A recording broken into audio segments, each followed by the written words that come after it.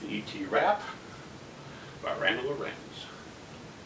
In 1982, Spielberg really did it. He was playing with some themes, and this is how he hit it. He was tossing around some dreams. He let the imagination fly. He took away the violence. He taught people how to cry. It's hard to understand the way the world thinks today, the answers we seek, the prices we pay. It's hard to comprehend the things that we do.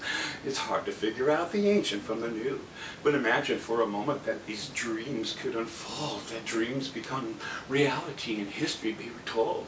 Imagine that a being was sent down here from space to examine with his people our entire human race. What could we do and what would we say? But now let's imagine a being lost his way. He's wandering around alone and afraid, wondering about the mistake he made. But then he finds a friend, say it's a boy. He's taken in against odds, filled with joy. Now give him an illness and a new need to roam. Now teach him our language, he learns to phone home.